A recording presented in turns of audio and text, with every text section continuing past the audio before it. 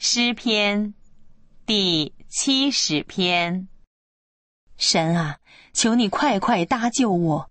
耶和华啊，求你速速帮助我！愿那些寻索我命的暴愧蒙羞，愿那些喜悦我遭害的退后受辱，愿那些对我说啊哈啊哈的因羞愧退后。愿所有寻求你的因你欢喜快乐，愿那些喜爱你救恩的常说当尊神为大。